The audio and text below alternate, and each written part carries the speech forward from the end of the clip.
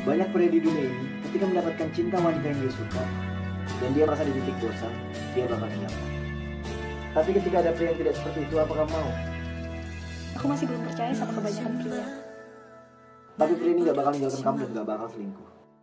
Itu cuma bullshit, karena kebanyakan pria itu selingkuh di belakang wanita.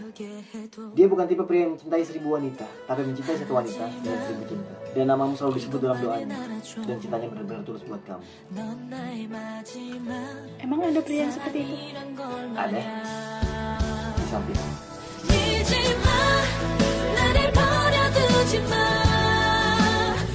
Walaupun kamu percaya sampai di sampingmu, dia bakal membuktikan kalau dia benar-benar cinta, sayang, dan serius sama kamu.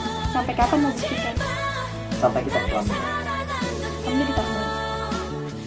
Jadi benar-benar.